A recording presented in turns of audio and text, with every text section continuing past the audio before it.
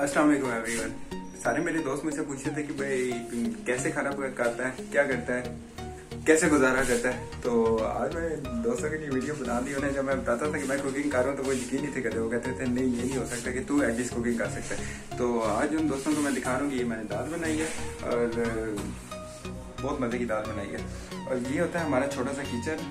ये है हमारे साथ फ्लैट्स। फ्लैट्स के साथ यहाँ पे हम लोग कुकिंग करते हैं। आज मैं आपको बताने वाला हूँ कि हम लोग कुकिंग कैसे करते हैं और कुकिंग जब तक आप लोग खुद नहीं करोगे, यहाँ पे खुद नहीं कर सकोगे। और अभी देखे मैंने कुछ बनाया है और ये है दाल। क्योंकि दाल सबसे ईजिएस्ट रेसिपी है और मैं बस पूरे हफ़्ते की इकट्ठी बना देता हूँ।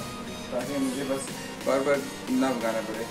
मुझे बड़ी उलझन होती है कि मैं यूनिवर्सिटी जाऊँ यूनिवर्सिटी से वापस आऊँ और जब फ्रिज खोलूँ और पता चले कि फ्रिज में कुछ भी नहीं खाने के लिए पड़ा। सो so, मेरी कोशिश हमेशा यही होती है कि मैं कुछ ना कुछ बना के रखूँ।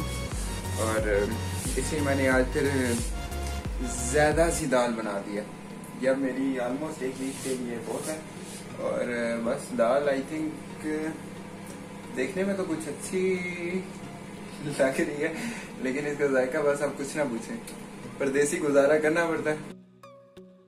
मेरी दाल होगी रेडी और दाल के साथ मैंने बनाए थे राइस वो मैंने आपको बताए थे कि मैंने प्रेशर कुकर में बनाए थे। और अभी मैं आपको दिखाता हूँ कि टेबल सज चुका है, अभी बस बारी है तो सिर्फ़ खाना, खाने की। और ये है जी मेरी रेसिपी रेसिपी तो नहीं कह सकती लाइक कुछ गुजारा कह सकते हैं। ये राइस विद दाल कोकम्बर और, ये ये ये है जी चाय। चाय?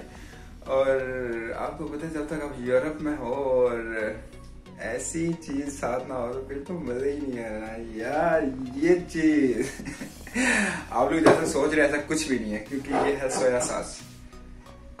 सोया सास। ऐसा ना मेरी मामा वीडियो देख रही और बस, मुझे घर से निकाले सो मामा, ये है सोया सास। अभी भी आप ट्रस्ट कर सकती हैं, आपका बच्चा बहुत शरीफ है, बहुत शरीफ है।